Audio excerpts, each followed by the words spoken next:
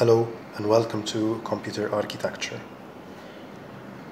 Here I will demonstrate the integrated circuit cost.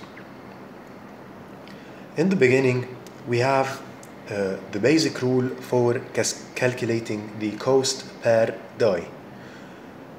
The cost per die we're really interested in calculated is the cost per wafer over dies per wafer times yield. So let's demonstrate some terminologies before starting. So what's the wafer? The wafer is actually the slice of semiconductor material such as silicon shown here. This is really the silicon wafer.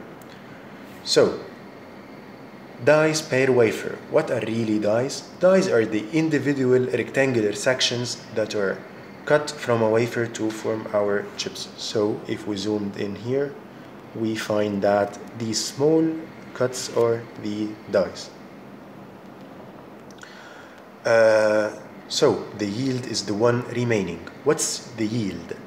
The yield is, as the name implies, the percentage of good dies uh, from the total number of dies in the wave.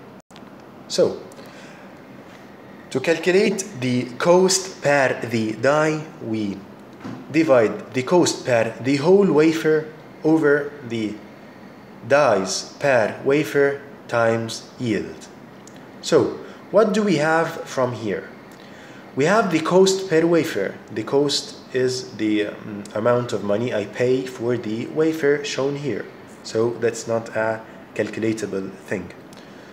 The second thing is the dies per wafer. How do I know the dies per wafer? Here uh, appears the dies per wafer equation. It's really the wafer area over die area. This is really an approximation. Uh, why is that an approximation? Uh, because uh, the, the, the silicon wafer is uh, rounded as you see. So the dies on the edge are not uh, that of use. So uh, this is approximated here as the total wafer area over the die area disregarding the ones on the edges. So here we knew how to calculate the dies per wafer.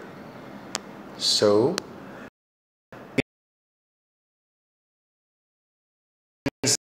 the 1 over 1 plus defects per area. Per area means or such times die area over 2 all square. Recapping, cost per wafer over times the really percentage of the good dies makes sense, right?